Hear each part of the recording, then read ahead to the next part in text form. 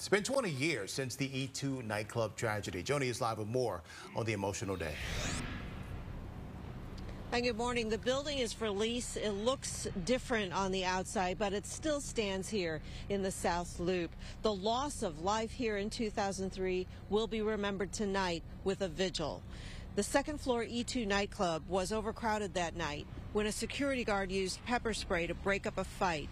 The crowd ran for the one exit Patrons fell down the long staircase on top of one another.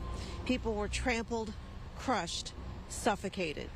21 young people died in a gathering place that was supposed to be shut down for building code violations. Many of the victims were parents of young children. Michael Wilson was the father of a three year old he called Little Mike, and that toddler is grown now. Michael Wilson was 22 years old. his son today is 23 years old so he he's older than his father. And you know of course he was three years old when he died. And so his you know he had to learn his his father through his his mother and and his grandmother and his grandfather and his you know he had to learn through his family.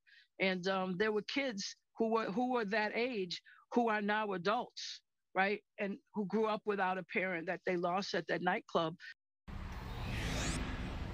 Dawn Valenti is a crisis responder. She's also a victim victims advocate. She's organizing the vigil tonight. She knows there have been some improvements in building safety in the city of Chicago. Uh, the two owners of the building, they did serve probationary time. They did some community service. And Dawn Valenti believes that the victims deserve a permanent memorial.